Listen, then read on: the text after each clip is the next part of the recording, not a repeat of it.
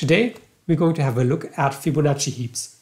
So if you know Dijkstra's algorithm, you've probably seen Fibonacci heaps as a solution to speed up Dijkstra's algorithm, but you probably actually didn't see the Fibonacci heaps, but only have seen them mentioned.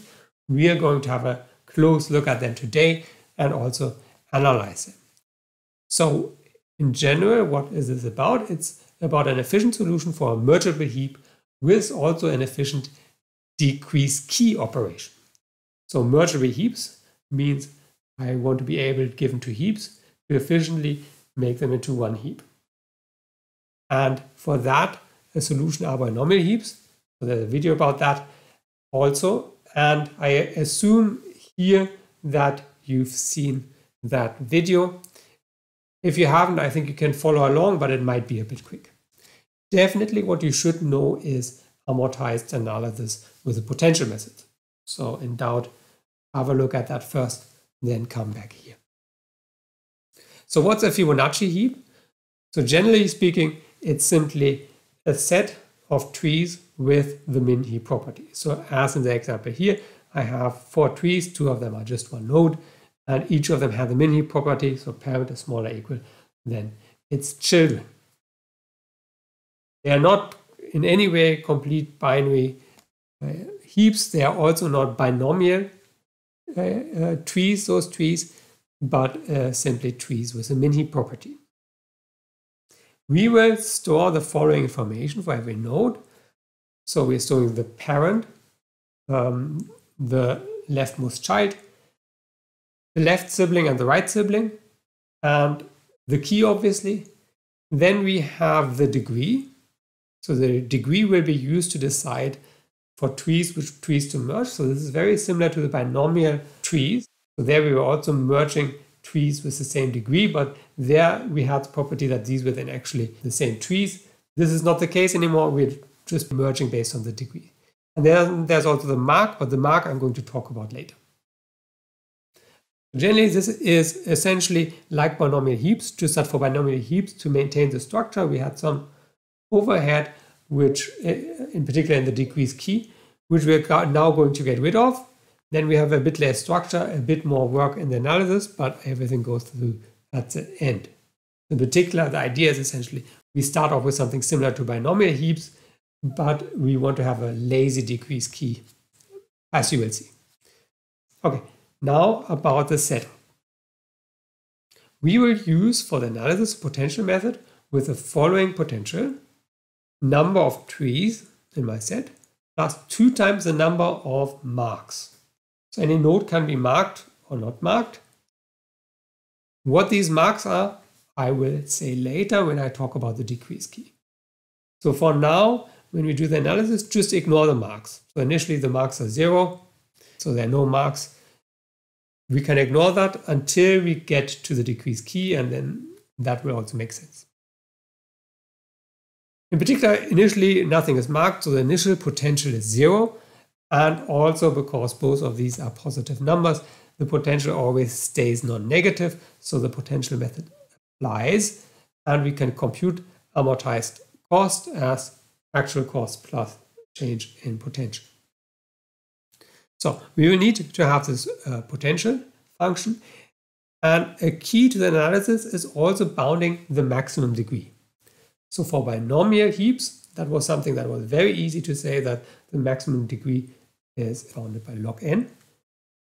Here we will have to put work into that. And we will do the analysis assuming a maximum degree of dn. And at the end, we're going to show that d of n is in O of log n.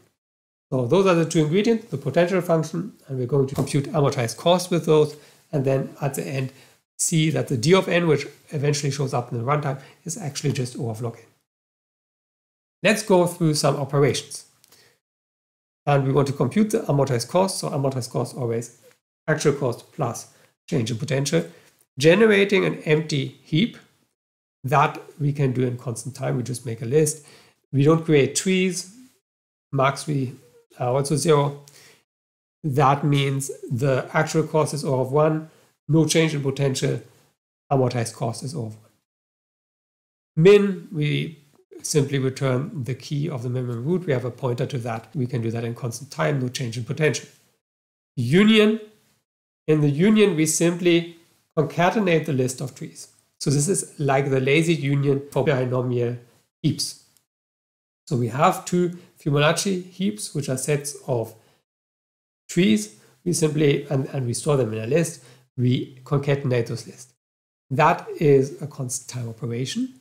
We have to update the min root. So we have two, each of the lists came with a min. We take the min of those two. Also that is constant time. The number of trees does not change. Number of marks does not change. So overall, this is again constant time. Insert. Insert, we have to make a heap of with one node and we add it to our list of trees. Um, then we have to potentially update the min root if the new one is smaller than the previous min. So again, this is constant amount of work. We get one additional tree. So the change of in potential is one. So still this is O of one.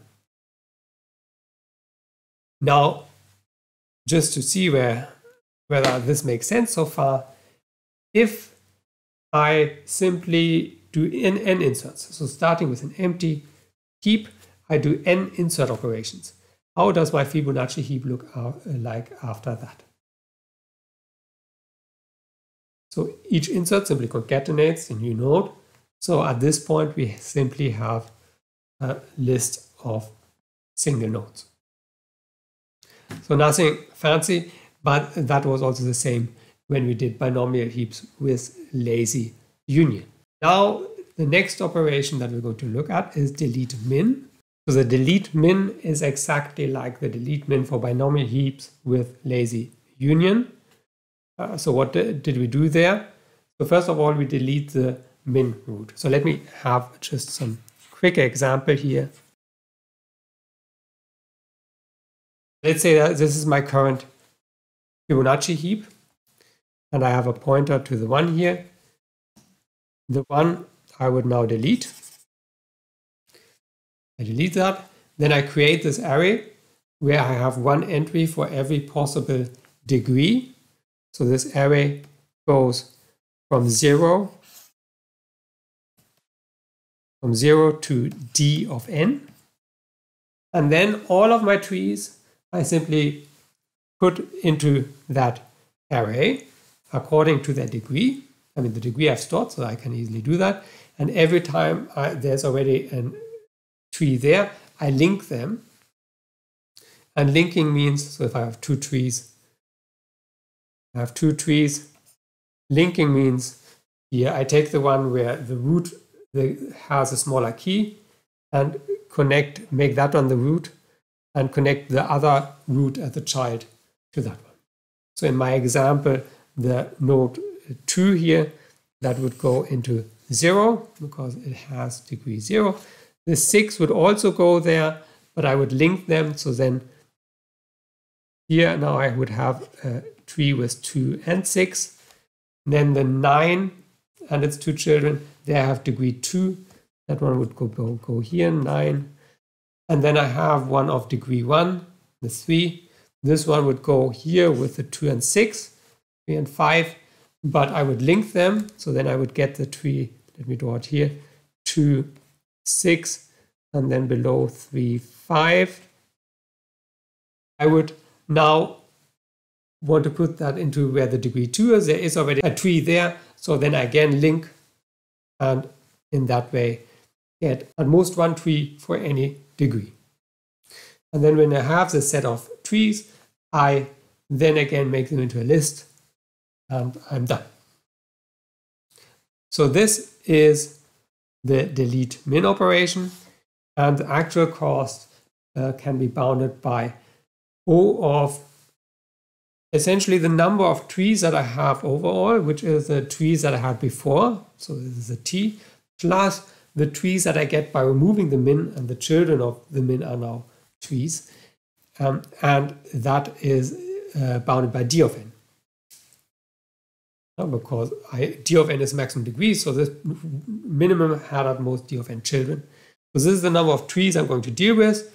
So I create the array of size d of n that of course also just takes of d of n time. I throw those in. So all of the process can be uh, done in this time. So how does the potential change? So the potential changes in the following way. So the potential after putting everything into the array and then appropriately linking is bounded by, so we have the number of trees to look at, uh, but assuming that we have this upper bound on the number of tree on the number of degrees, I, for every degree I only have one tree, and the degrees are between 0 and d of n. So after all of this, the number of trees is bounded by d of n plus 1.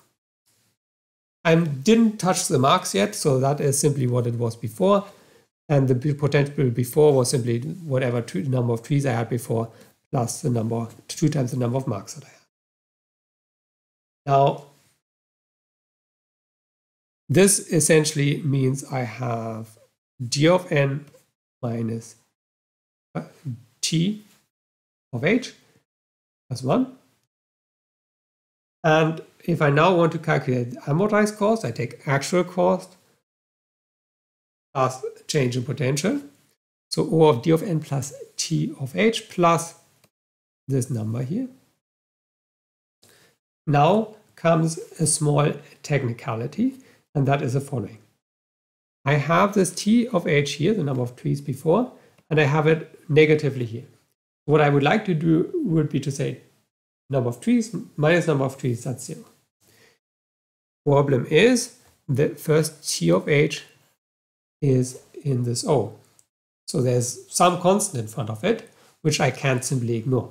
What I will do is I will assume that the potential, the constant factor in the potential is large enough so that it's so large that it can, the minus t of h is at least as big as the O of t of h. You will see that called assuming we sufficiently scale up the potential. What that actually means is that this potential, you can think of it as there's a constant outside of it. All of the analysis uh, stays the same with such a constant. But if I make this constant large enough, it can eat up the T of H which within the O. And if we can do that, then these two cancel out. I only have O of D of N left. And that is what I wanted to show you. So far, we didn't touch the marks yet. So that's something that will happen soon. But before that, a quick question. So here's a question. If I do n inserts and then one delete min, how does my Fibonacci heap look like? Or more specifically, is it then actually a binomial heap? The answer to this is yes. So let's look at this by example. If I do n inserts and I simply get such a list, at that point, each of these trees is actually a binomial tree of size 1 or degree 0. And then the delete min does exactly the same as for the binomial heaps. So then I would actually get this nice binomial tree as a result. If I now, for instance, continue, I union this with this tree, I insert a 2, delete min. How does my heap look like after that? The delete min simply deletes the two that I inserted and the two didn't have children. So I'm simply merging, taking actually the union of those two trees by putting them into the array and linking. So then the result would look like this. Now we come to the decrease key operation, which I here abbreviate as dec key. How does decrease key work? Essentially, we want to do it as lazy as possible. And what we do is, so in this example, uh, we want to decrease the key of this node x. So it has currently a key of 8. We want to decrease it to 2. So in a binomial heap, we would now have bubbled this up, but that would have cost us log n. So what we do instead, if we decrease the key, and this would violate the binomial heap property, we simply cut it out. So this one disappears. Obviously, we still need the 2, so we make the 2 a separate node. Yeah, that's the simplest way, possible way of uh, solving our decreased key problem. Now we have to be careful that we do not mess too much with the structure of the tree. And what we do, therefore, is we mark its parent. So this now looks like this. This is after decreasing the key of x. Now we want to be careful that for a given node we do not delete too many of its children because what we essentially want to have is we want to have a relation between the degrees of a node and the size of the subtree and this might get destroyed if I'm deleting too many children. So I, essentially for any node I'm only allowed to delete one child. And how this is done is when I'm deleting the first child, I simply mark a node. If I now delete another child, so let's say now I want to delete the 9 here. I mean, I don't want to delete it. I want to decrease the key. I do that again by cutting it away.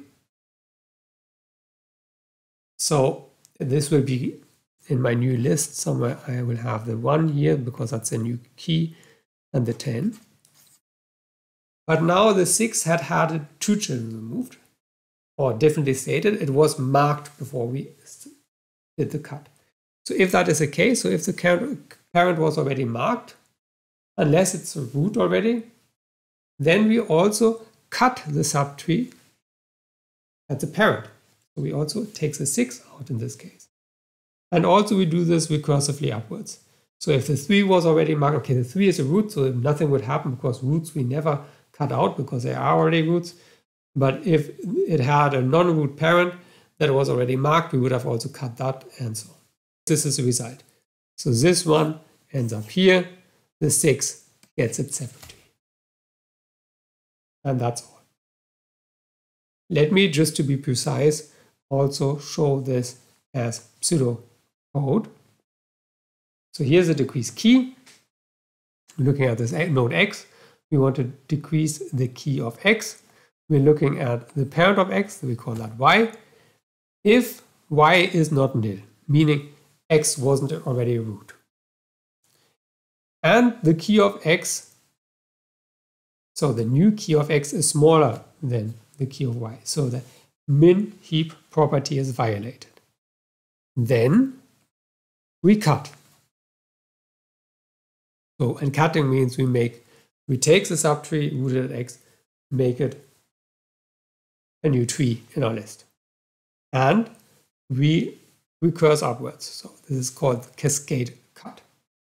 So cascade cut, we would call cascade cut on y.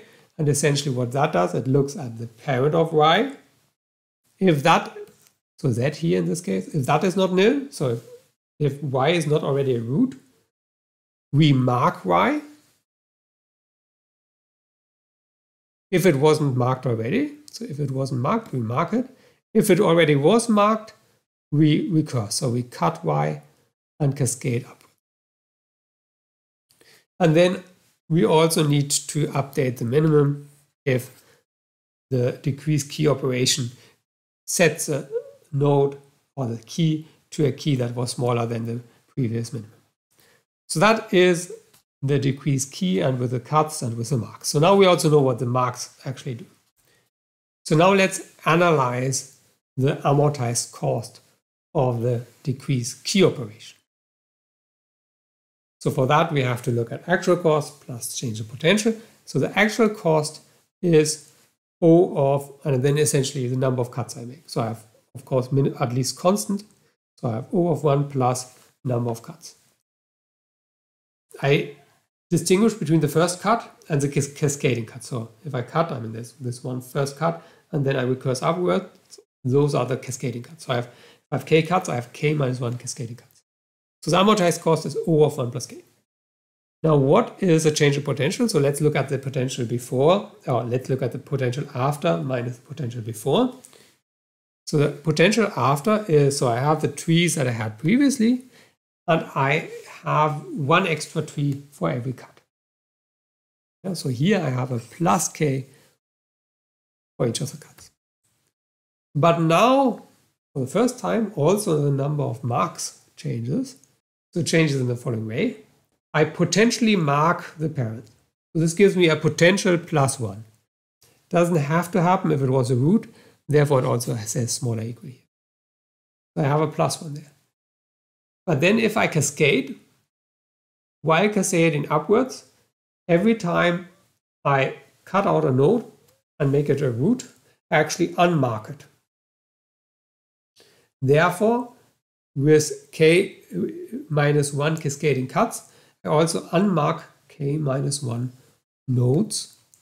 So I get as change in terms of number of marks this minus k minus 1 plus 1, at least at most. So this is minus k plus 2. And this is the old potential. And if I calculate this, it says I have a 2 here times 2, this gives me 4. And then I have a k here, I have 2 times minus k, so I have minus k here. So this is my change in potential.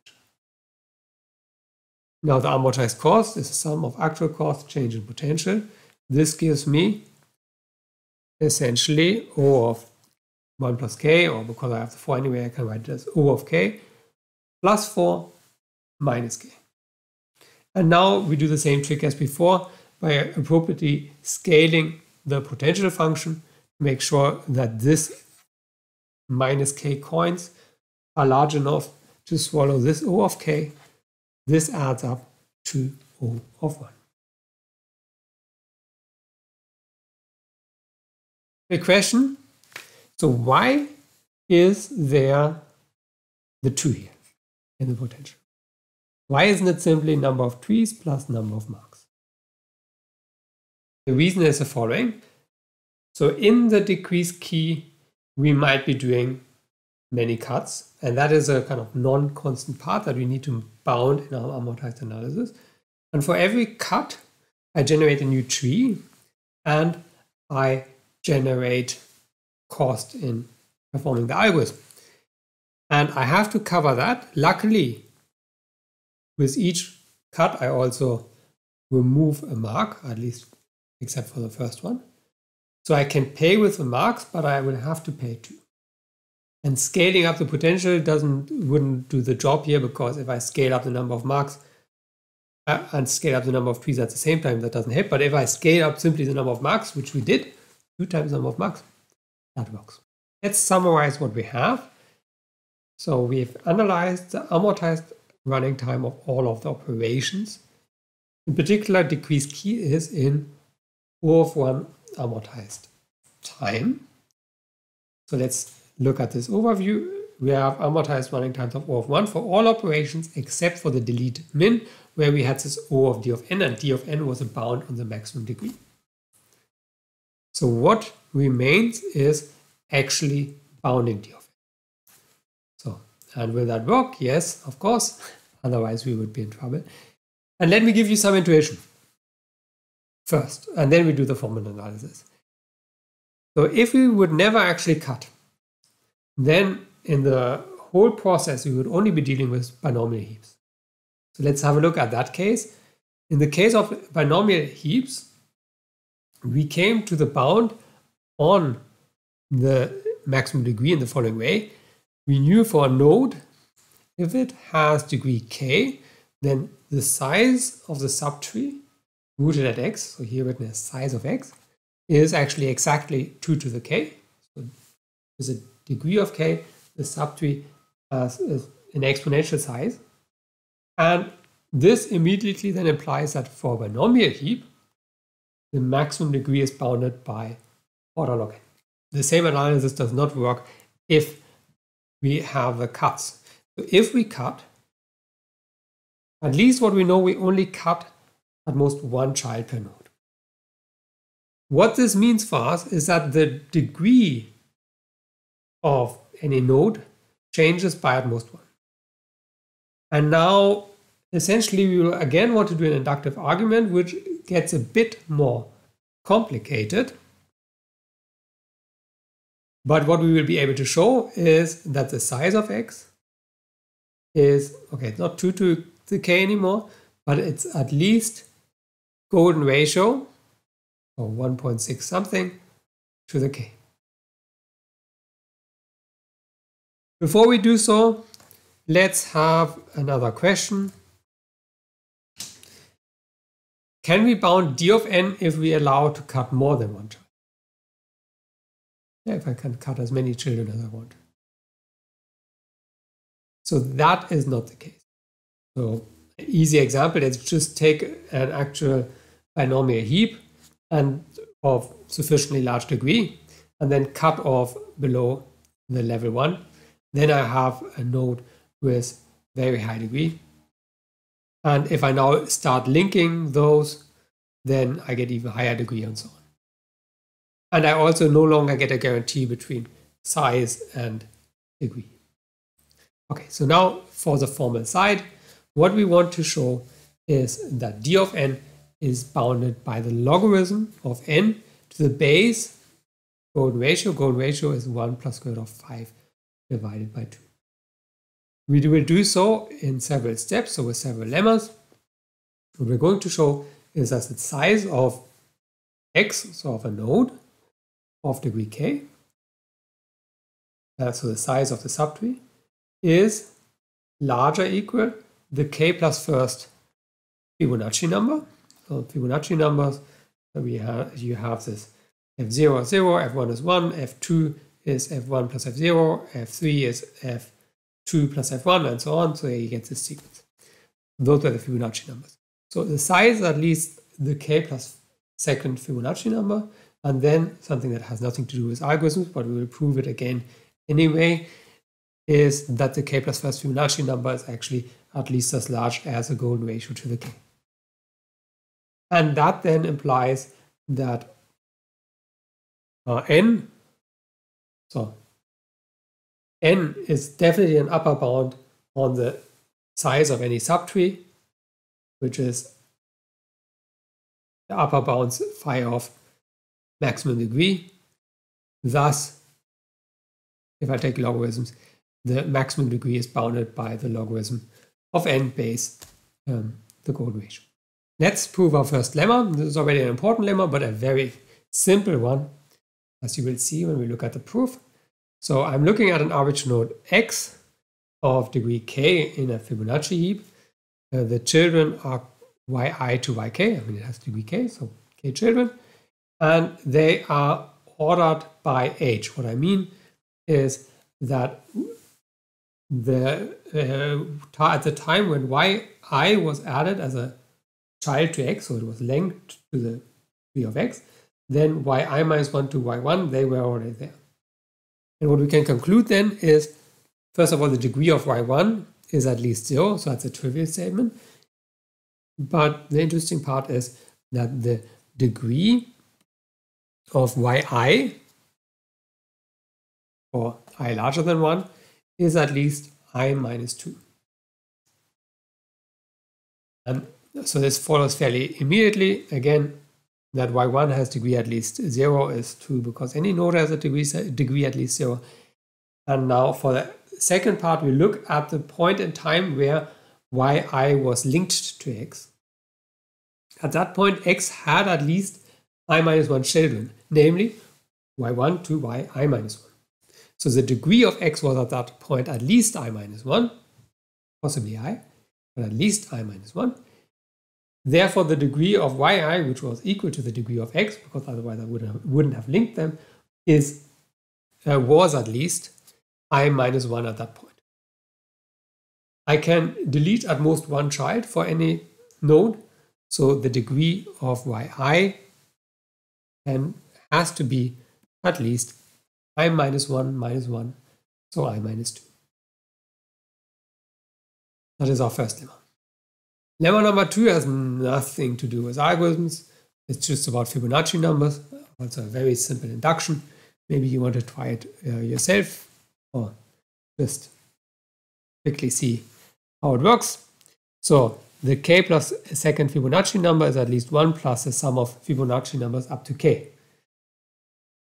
We start with the base case of k is 0. If k is 0, I have to look at f2. f2 is 1 plus 0, uh, which is the same as 1 plus f0. And f0 is the sum from i to going from 0 to 0. Now, for k larger 0, let's have a look at fk plus 2. the definition of the Fibonacci numbers is that this is fk plus fk plus 1. Now, I use induction hypothesis on fk plus 1. This gives me, okay, if k is from here, so this gives me this 1 plus the sum up to k minus 1. Now I put the fk into the sum, then the sum goes up to k, and that's it. So we have, are done with our second lemma. Lemma number three. Again, nothing to do with algorithms, but uh, we do it anyway because we're going to use it. Fk plus 2 is at least the golden ratio to the k. Again, a simple induction. And for that, okay, let's first do the induction, then talk about the golden ratio once more. So if k is 0, this is true because f of 2 is 1, which is phi to 0. If we have k is 1, then we're looking at f3. F3 is f2 plus f1 is 2, and 2 is larger than phi to the 1. I mean, this is 1.6 blah, blah, blah to the 1, so 1.6 something. And for k larger, 2, we have if k plus 2, we use a definition. We plug in the induction hypothesis. Now we take out this factor, so we get this equation here. And now we know, use the definition of the golden ratio, um, which is that it's defined by this equation phi squared is 1 plus phi, or we have the phi plus 1 here, which we now can replace by phi squared, and then phi to the k minus 2 times phi to the 2 is simply phi to the k. So lemma 3 is also done. So now we come to our crucial lemma, lemma 4, and that states the following. I look at x, uh, and that's a node of degree k in our Fibonacci. And the claim is that the size of x, so the size of the subtree at x, is at least as large as the k plus second Fibonacci number. For the proof, we look at these sk. And what is sk? Sk is the minimum size any node in any Fibonacci heap um, of degree, uh, any node of degree k in any Fibonacci heap could have. So in particular, the size of x is at least sk because sk is the minimal size that such a node could have. So let's first look at two examples. What is S0 and what is S1? So S0, I ask about the minimum size of a tree where the root has degree 0. So if the root has degree 0, it doesn't have children. There's actually only one option, namely only having this one node. So S0, S1. S1, if I have a node here, it has degree 1, so it has a child. Now there could be more here, but I'm asking about the minimum size. The minimum size is 2. 1, 2. So as, as 0 is 1, as 1 is 2, and what we can also see is a sk growth with k. Now back to x, or back to degree k. So let's look at a node at z, a node of degree k, and of size sk. So z is now an example for a minimum sized, uh, for a degree k with minimum size subtree. And we look at its children. Yeah? And now you can already see this, we'll be using lemma 1, namely some bound on the number, on the degree of the children. So back to the x of our lemma, the size of x is at least the minimum size that a, that a subtree of a node of degree k could have. So size of x is at least sk. And now sk, I mean, this comes from the z, and the z has its children y1, y2, up to, so z has degree k, so up to yk. So how many nodes does this subtree have? I count in the following way. This gives me one, that itself. y1 gives me 1. And of course, there will be could be more nodes below these y, but for the y1, I only know, so lemma 1 only gives me it has at least degree 0. So I know there is this node, I don't know whether there's more. But for each of the other ones, I can actually conclude that they have at least a certain degree, namely, so the degree of the yi is by lemma 1 at least i minus 2. But if, so I have a yi here, let's say, an arbitrary one. If this one has degree at least i minus 2, then it's the size of the subtree at yi is at least s i minus 2. So I get as a bound, so sk is uh, uh, lower bounded by 1 plus 1 plus the sum of the sizes of these trees and the sum of the sizes of those trees is this sum here, sum of s um, i minus 2. Now we use induction. Because now we have sk here and a term with smaller si. So by induction, we now want to show that sk is at least f of k plus 2, and then the lemma immediately follows. So we have s0 is 1, s1 is 2. We stated that already above. sk, now I can use this equation here. sk is at least 2 plus this sum.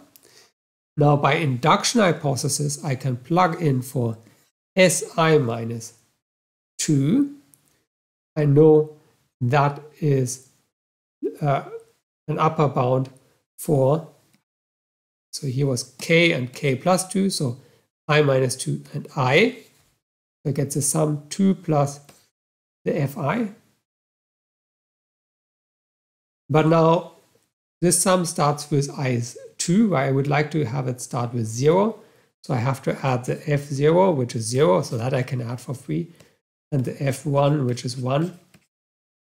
Uh, that I can take one, one out here, so 1 goes out here, therefore I can do 0 here. That's a term that I have over here. But now I can apply my lemma 2, which states that this is exactly the fk plus 2. And I end up with, I wanted, with what I wanted to show.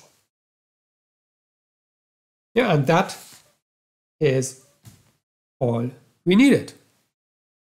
So here once more all our lemmas. So we can conclude d of n is in O of log n. And with that, we have everything that we wanted to have. So let's look at the running times again.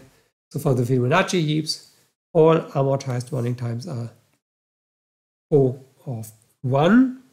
Actually, the only th time where amortization actually happened there is in the decrease key. So that's amortized constant.